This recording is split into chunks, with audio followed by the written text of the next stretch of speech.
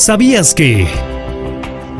El primer edificio construido en México fue el Palacio Virreinal, hoy conocido como el Palacio de Gobierno. Su construcción se inició en 1522 como segunda residencia privada de Hernán Cortés, encima de una parte del Palacio de Huey Moctezuma, Jocoyotzin. Luego fue adquirido por la corona y destinado como sede a los virreyes de la Nueva España. Durante aquel periodo sufrió un gran incendio y fue semidemolido en 1692. Posteriormente fue reconstruido por las autoridades virreinales. Consumada la independencia de México, fue sede de los poderes ejecutivo, legislativo y judicial y de los diferentes regímenes republicanos y monárquicos del país durante la mayor parte del siglo XIX. Incluso fue residencia personal de todos los gobernantes entre 1822 y 1884. A partir de ahí, permaneció como oficina presidencial hasta 1968, recuperando dicha función en el 2018.